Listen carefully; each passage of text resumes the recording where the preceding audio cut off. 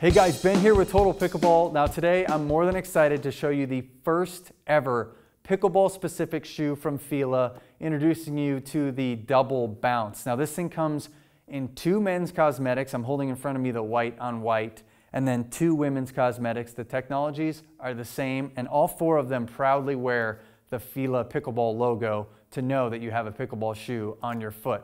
Starting out with the high abrasion outsole, you guys can see it's a really nice outsole that's gonna give you traction, but also a ton of durability. But my favorite feature of this shoe is the forefoot pivot circle protection. And what that is, is Fila has designed a shoe that is specifically for pickleball. Now we wear our shoes out differently than a tennis player would. And our movements are a lot of lateral movements, especially when you get up to that non-volley zone. You're moving laterally a lot. So they've reinforced their outsole in specific spots where we would wear that shoe out so this thing lasts longer for you.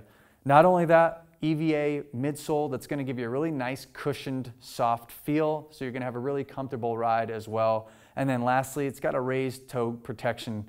So if you do drag your feet ever, you're not going to burn through the top of your shoes and expose your toes. Like I said, this thing comes in four different cosmetics and retails at just $65, which is an incredible shoe that's made specifically for our sport. Now, if you guys want to see the specs, pricing, or any more information, click the link below or visit us at totalpickleball.com.